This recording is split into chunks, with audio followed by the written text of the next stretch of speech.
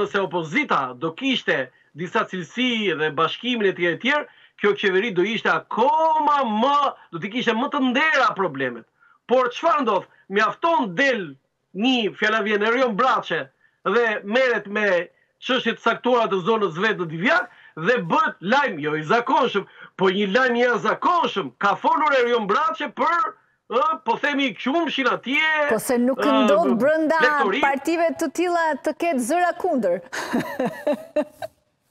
Jo, Edi Rama, kryeministri ka thënë, ka thënë që vetëm Erion Braçes i lejohet të flasë kundër në PS. Prandaj pra po them se.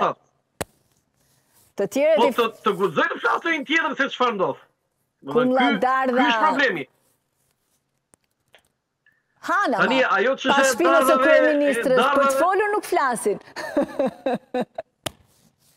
Esmeralda, në këtë drejtim partia socialiste, e cila ka qënë shumë herë më përparimtare, më demokratike se partia demokratike, ka bërë hapa pas.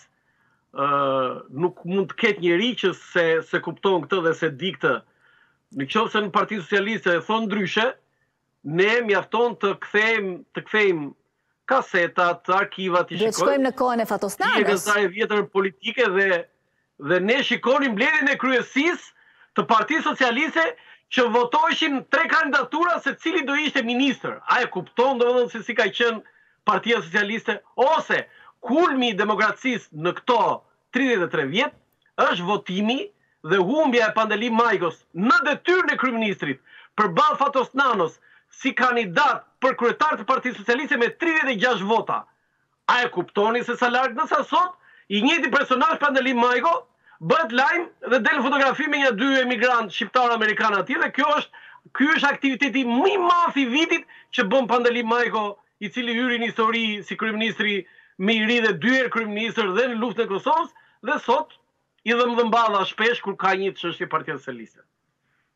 E ka pranuar edhe ai situatën e re brenda Partisë Socialiste. A ka ndonjë alternativë tjetër për të mos e pranuar? Ka dhe një farë dinjiteti. Jo, kjo i ka rënë Pandeli Majkos, ne duhet ta themi këtë gjë. Pandeli Majko ka dy karriera në jetë, ka dy jetë politike.